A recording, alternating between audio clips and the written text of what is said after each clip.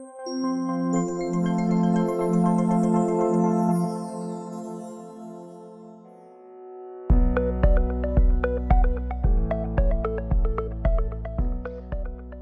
everyone, and welcome to another episode of Higher Expertise. And today we have Flor, Israel, Javier, and Austin. Guys, how does it feel to be back in the office again? It was great. It's great. I mean, yeah, you awesome. see us like this where we're in the office. It's just that the studio is not ready yet, and we're improvising here. I'm in one room, Javier's in the other, Austin's in the other, Israel's in the other, Flores in the other. So, can we say that we're still working remotely? We're- Yeah, we can Does say that we're, count? quar- we're we're distant. quarantining ourselves. Yeah. Well, Flor, Flor definitely is. Flor We're, pra- definitely is. we're practicing social distancing. That's right. Otherwise, we should be wearing masks. That's right. Yeah. True, right. true. Okay, so um, this week uh, there are a lot of things going on. Uh, Sony came out with uh, PlayStation 5. Apple came out with a lot of things, uh, and we're going to be talking about Apple and the Apple event.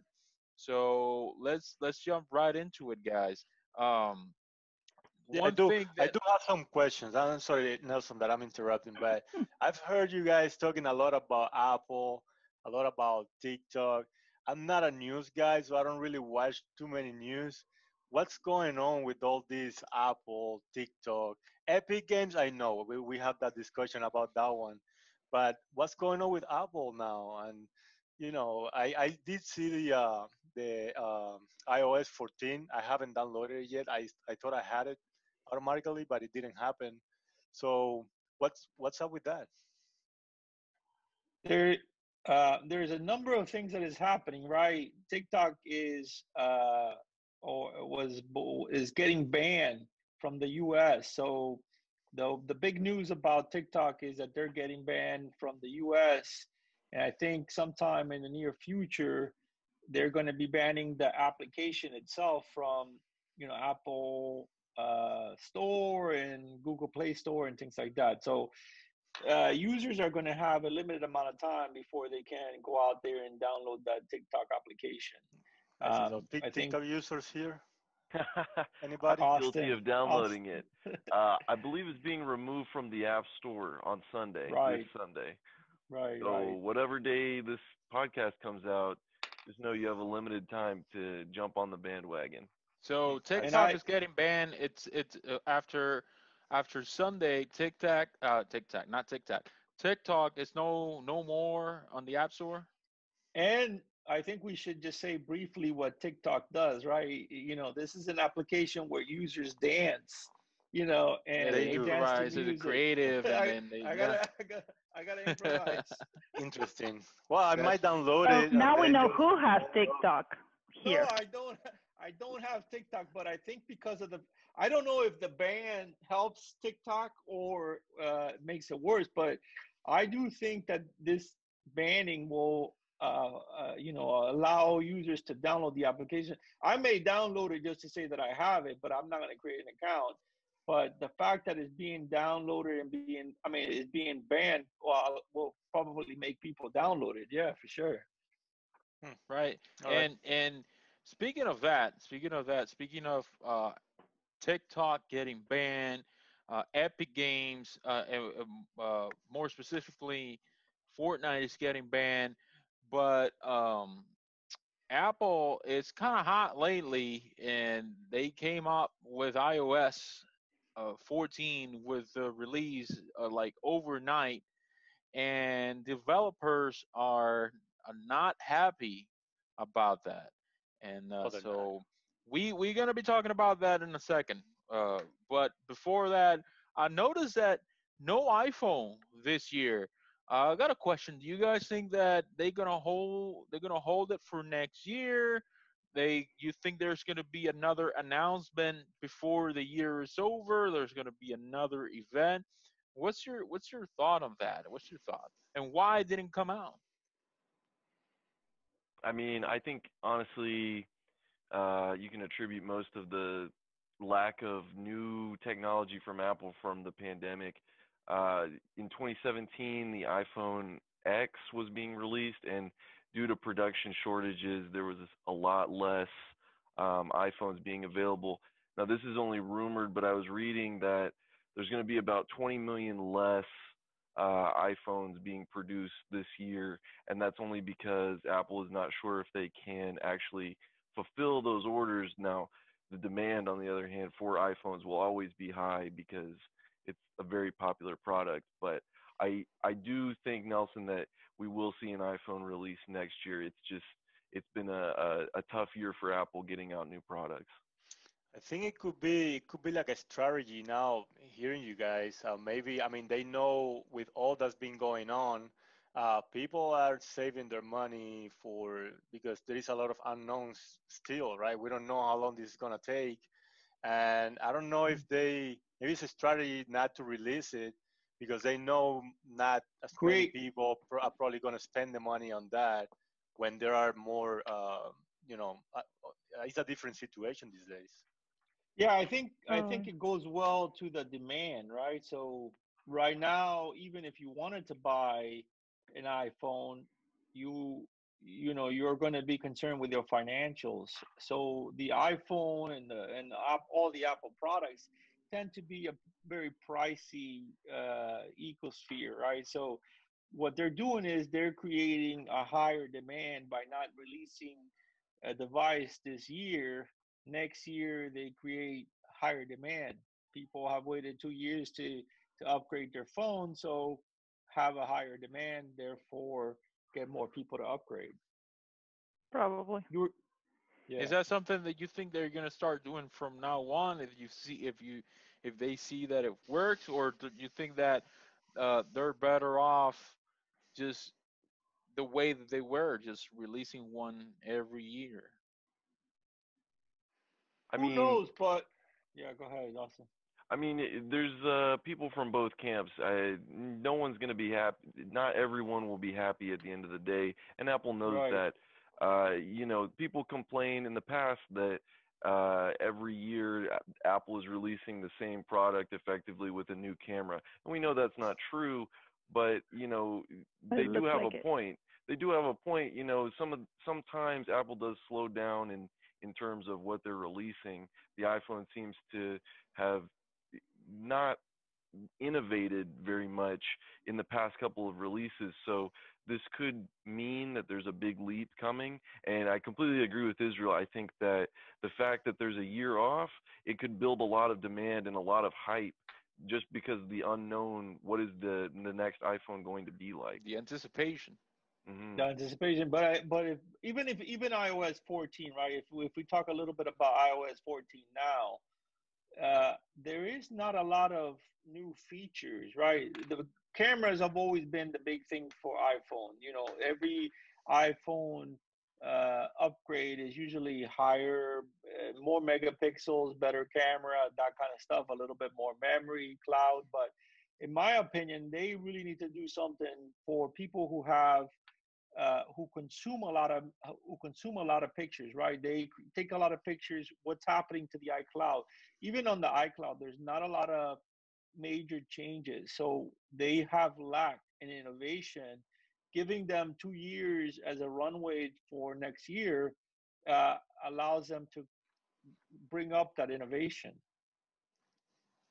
Yeah. I think that Well, that, that there should be that they should come out with new iOS every other year rather than every year, and that way it gives them space, gives them room to come out with newer innovations. I, I think I agree with that. I think uh, a year is it's uh, in a year one of these phones, an iPhone, is still a good phone. Uh, so uh, Yeah, in my opinion, I don't think I need to change a phone every year.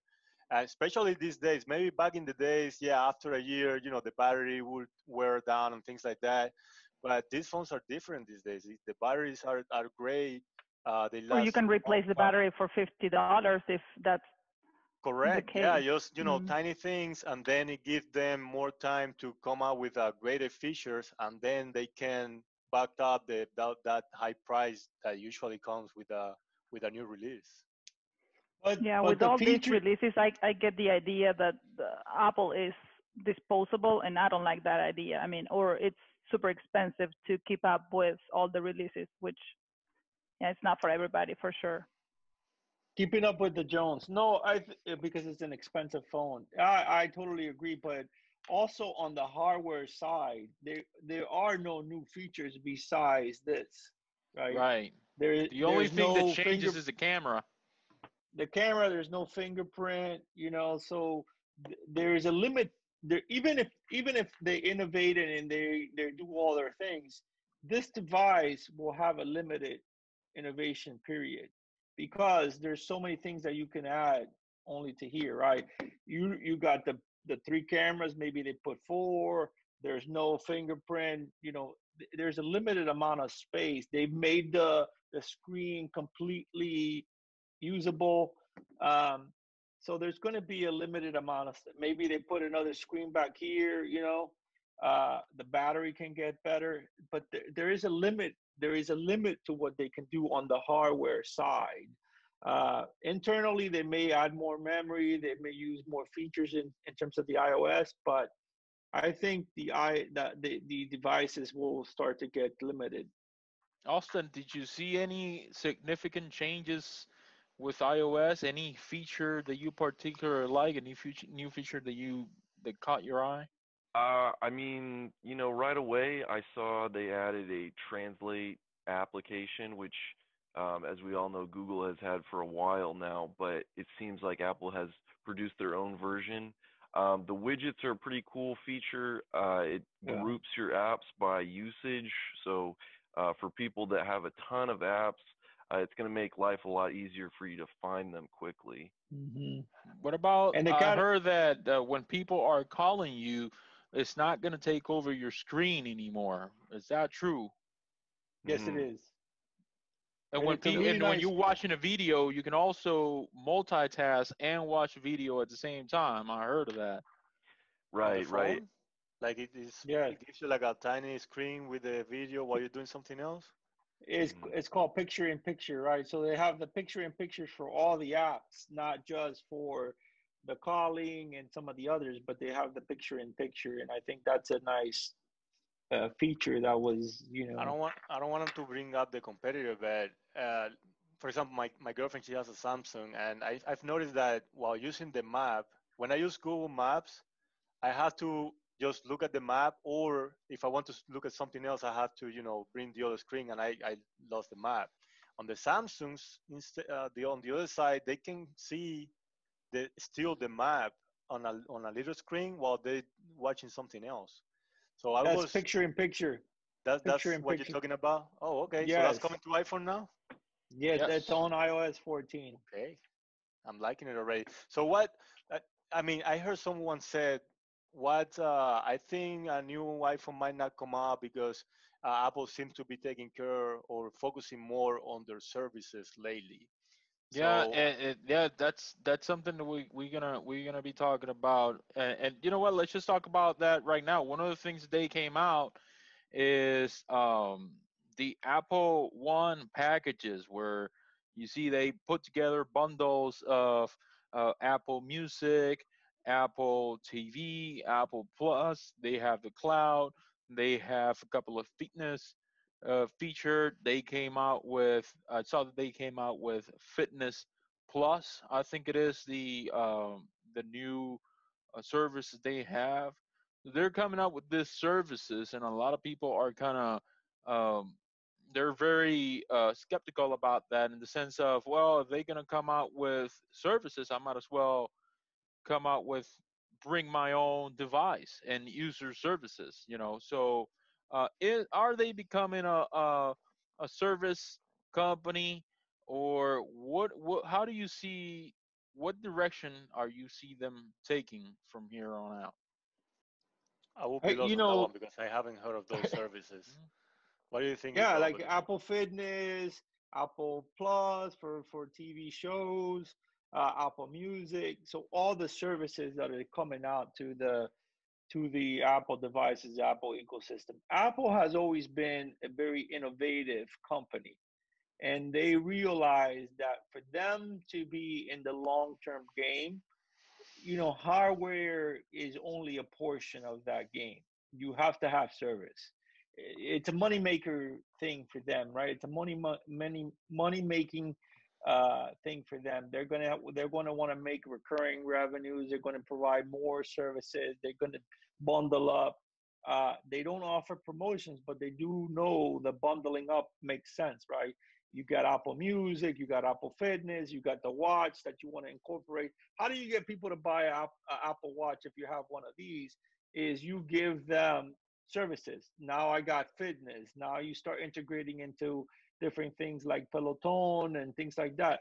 So the services just becomes an extension of who Apple is. Yeah, yeah that that totally makes sense, and it makes me wonder. Maybe they they're starting to realize that the innovations on these devices are coming slower and slower. So because, yeah because there's so much there's only so much you can there's do only so much they can do that's right. Yeah, so they're, they're starting to realize oh hold on i mean we're trying to we are uh, actually reaching a point here where we are not coming up with so many new features. We you know getting running out of ideas or something like that. Let's find something else to you know start diversifying our our uh, brand yeah the the new markets. And it, it goes back to your point javier that you made earlier you know the phones are the hardware is lasting longer and longer and people are content keeping their older devices and apple is smart and they realize that you know they can untap they can tap into the fitness market which has been you know like peloton that israel mentioned yeah. or you know the, the virtual the storage streaming. like dropbox mm-hmm. apple wants to compete with with those because they know that they're already dominating the hardware market so how do they get uh, more consumption, and that's through software and services. Absolutely, absolutely. There, there, there will only be a limited amount of innovation that you can do with hardware, regardless of what you think of, right? There's only so much that you can innovate with a phone. There's only so much that you can innovate with a watch. It's great that they can give you your blood, your blood oxygen levels now, but some people may not need that, you know, but they do want the whole notion of having that watch and having a phone and having fitness. That whole notion of the fitness app on the watch is great. But Apple has always been recognized for leading, right? Uh, in the in the early '80s, they came out with Lisa, Macintosh, uh, Pixar. Pixar was more Steve Jobs, but yeah, whatever. Apple. Uh, then right. they came out with uh, the iPod, iTunes, so what very revolutionary, iPad, and the iPhone, and uh, the iWatch, uh, the Apple Watch. I'm sorry. They always been uh, leading and, and revolutionizing Siri the, the well, business. I mean, Siri. Now, is uh, this Siri, the beginning of Apple kind of following instead of leading, or no, Apple Apple has uh, you know sometimes like the Siri Alexa. I would argue that Alexa was better is better, you know, than Siri. You know, what, and what what came out first? No, Alexa. there's no question. There's no question oh, that Alexa. I agree with you. I think that Alexa, it, it's it's for me it's superior than Siri. But uh, yeah. but Siri uh, create created the market.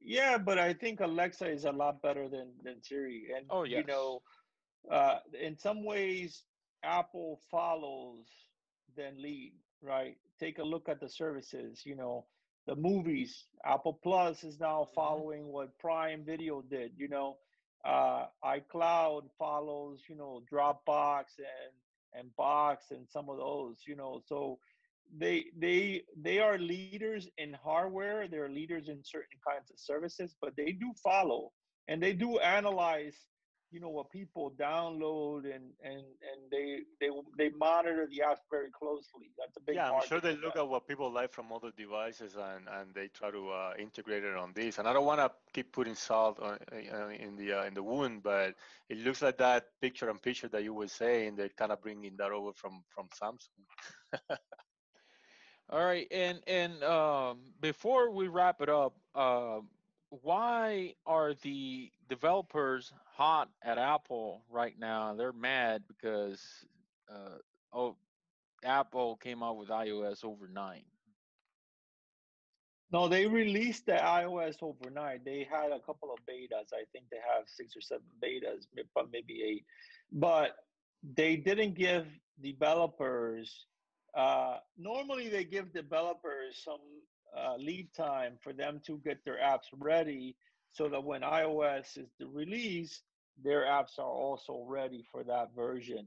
In the case of iOS 14, they didn't give uh, their developers a lot of time to upgrade and update their application. So so now they're fumbling because they they everyone's downloading iOS 14 and the apps are not ready. Oh, I see what you're saying. So it's causing it might be causing issues with the different applications that we as users uh, use, not necessarily from Apple. And oh, I, I see your point. I was uh, and it's and it's something. causing a headache. It's it's causing headache for the developers because now the user of that application has a bad experience with the app. Maybe some functionality is not working. Maybe the icon has moved a little bit, so yes. it doesn't look as right. Uh, and so you know they just don't didn't have enough time, and the developers are are furious about that. They're they they didn't like that approach. Well, uh, it puts them in a in a tight, uh, I mean, in a bad position because now they have to rush their their uh, you know applications or their developments on the applications to fix whatever bugs or issues uh, this new yes. release might might have caused. Thank you guys for being here. And if anybody, what what do you guys think about the Apple event? Please comment down below. And uh, if you have any question, go to our website and ask us today how we can help your company, run your applications a lot smoother. Follow us on social media Instagram, LinkedIn, YouTube, Vimeo. And uh, with that being said, thank you guys. And we're going to see all of you in the next show. Take care, guys. Thank you, everyone. Bye, guys.